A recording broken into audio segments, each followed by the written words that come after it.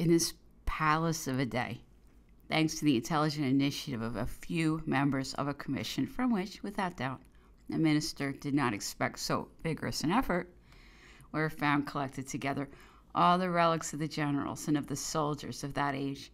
Hovering over them, everywhere visible and present, was the image of Napoleon of the whole of the national fair. This palace was most visited, pouring into it in deep waves from the very vestibule. The most excited and the most noisy held their peace. A certain religious and sacred feeling entered their troubled minds. They passed along the glass cases silently, deliberately, thoughtfully, and continuously. Of the heads bent down in examination, there was always a varied succession and always a stream of men, of women, and of children, which flowed by as the months passed.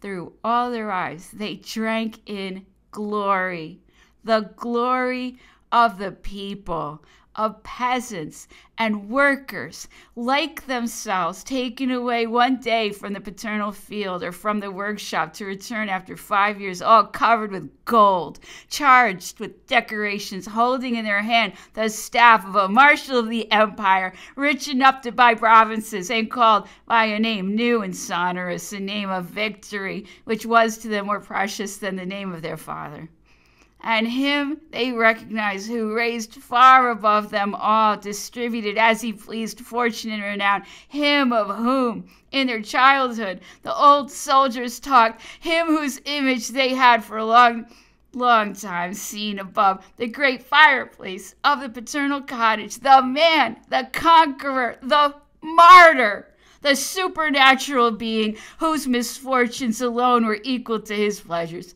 whose name alone, mysterious and unique, is like a rallying cry, everywhere understood, which unites all people in a bond of admiration and respect.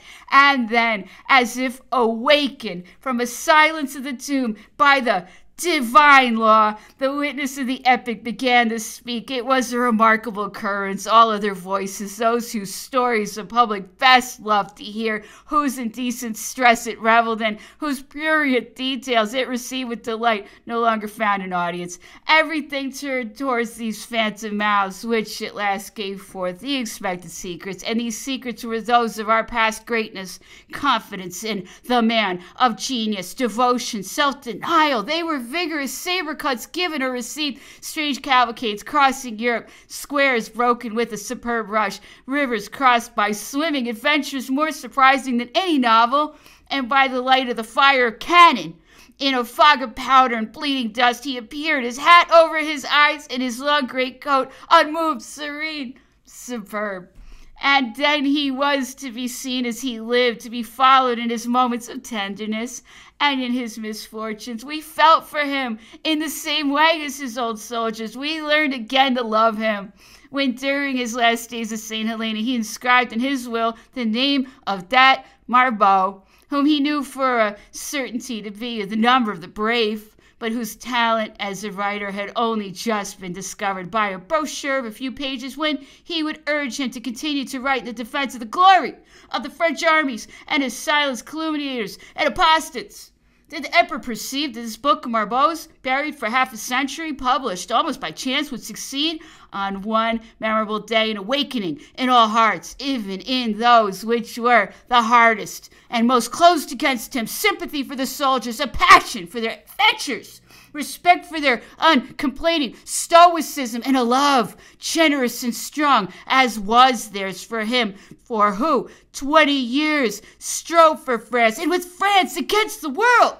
All is prepared the movement, but still it was not this which produced it. Under the force of circumstances with which it appears that the recollection of Napoleon had no connection, the nation suddenly found itself in such a state of mind that a cult of the emperor was alone capable in its own eyes of consoling it, of fortifying it, and of restoring it. His name was a symbol. He combines the idea of glory, the idea of authority, the idea of honesty. The nation is wearied at defeats and longs for victories. The nation is weary of parliamentary anarchy and looks towards the man who gave them back security and order. The nation is weary of seeing the conscience of those who govern it put up to auction and looks towards him who, inflexible, insisted on restitution from financiers and emptied the pockets of contractors. To a people of simple views, a name is necessary to summarize its dream. But for a century, each time that the people sunk into the quicksands of parliamentarism, feels itself on the point of perishing at the risk of hurrying on the catastrophe, it makes a desperate effort in spite of the sand which is closing its lips and the filth which is filling its mouth, and throws out a last appeal, a last cry, after which nothing remains but death and it is this man whom it calls to the rescue. It is this name which it gives utterance to as that of the supernatural being who alone can save us. In 1799, when the people wished to free itself from the ignominy of the Directory, in 1815, in 1830, and in 1848, when it attempted to overcome the oppression of the aristocrats and the financiers, and in 1848 again, when it was disgusted with Republican anarchy five times already in one century, but it was the only name which summed up all the aspirations of the people, but for all, in 1798, in 1815 for the greater part, in 1830 for the mass, even in 1848. The name was that of a living person, and it was to his genius that the people appealed. At the present day, there's no influence of survivorship, no belief in an heirship, no thought relating to any descendant. It is to Napoleon dead to no member of the Napoleon family living. That the soul of crowds leaps out. Napoleon seems like a dream of the reason, a being of legend and of dreams, so good, so strong, so far superior to surrounding humanity, that for this nation, which has no longer the remains of faith in the ancient gods, it is he who becomes the god. There is at present no party which can restore him to France. He is too far away in time, too exalted in glory. To her alone can he serve as a leader and guide, for she alone is equal to him and can, without failing, support the weight of his name. Vainly, by the side of his worship, is the attempt made to create a rival, Joan of Arc declared venerable by the church after having been condemned by the church, Joan of Arc seized and monopolized by the Catholics, exalted into a worker of miracles whose marvelous acts were not only inspired but carried out by divinity from that time forth loses hold of the country. The visionary who is guided by Saint Michael and Saint Catherine no longer is a representative of the spirit of France. That spirit incensed against the English invader which descended into the little shepherdess of Domremy, and to the time of her death animated her sweet and overflowing love for our land the statue Joan, which each will honor in his own way, may unite all believers to the country. The shrine of Joan will unite only the believers in a religion.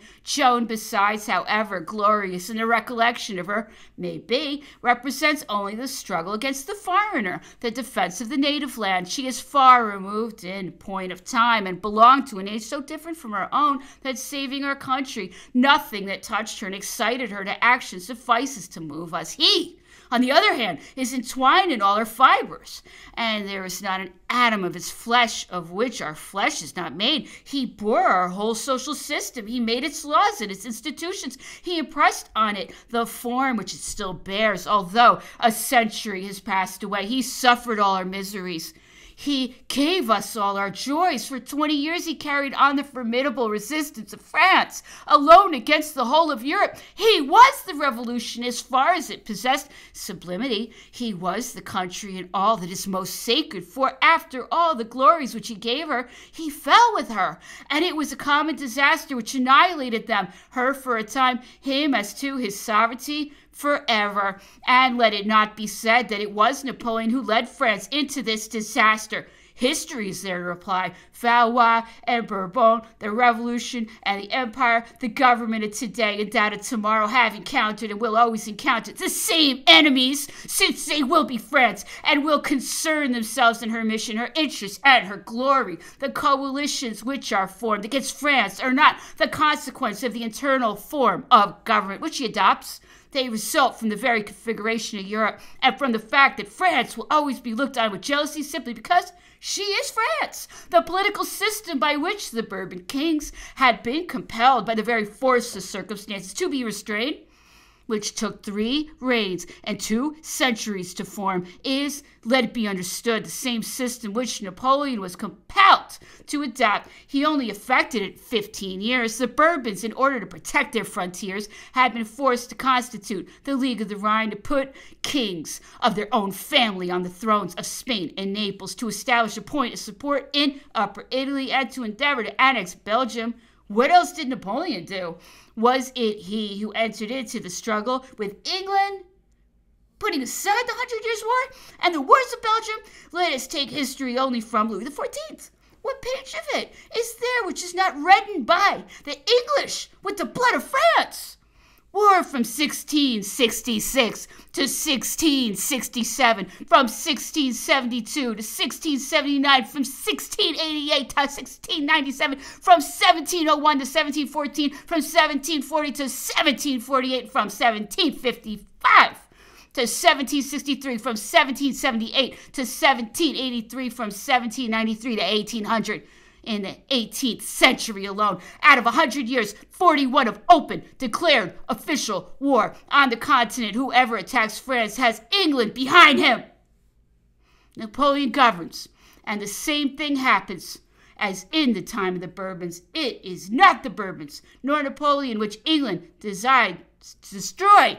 It is France. In these 15 years, it's found, collected, and represented the complete national history in his own person. Napoleon unites the grandness and the disasters of the whole Bourbon dynasty. By him are summed up and united victories similar to Denain and defeats like Malplaquet. In him is embodied at the same time the struggle for the freedom of the seas and the struggle for natural frontiers like Henry IV. He brings peace to consciousness like Louis XIV, he organizes the administration better than all the kings. He creates the unity of the nation, the Conde, Turenne, Luxembourg, Villars, Saxe are soldiers in the past, as in the present are Lannes, Davout, and Massena the ignorance of Napoleon brought on France and its armies, the disasters of 1870. It brought on the nation the orgies of parliamentarism, that shameless corruption which made the law court a public exchange of votes. It brought on the government such a lowering of the principle of authority that it relaxed all the springs, destroyed the administration, introduced a want of discipline into its ranks. It brought on society that moral anarchy which rotted and disintegrated the class which professed to direct. Long before it had provoked in the class which held no property and which would no longer be directed by the proselytism of the bomb, that society trembles at present. It is when it threw him over who alone could protect it that they should have trembled. It is astonished at the frequency of anarchist attempts it is their rarity which ought to astonish. When anarchy is in the minds of the shopkeepers, how should it not descend to the mass of the people? Why should the shopkeepers alone have the monopoly of satisfying their appetites when the appetites and interests serve only as a base to society, when the principle of authority no longer has its devotees, and the country even is no more than a figure of oratory which serves to cover all expenses, to justify all peculation?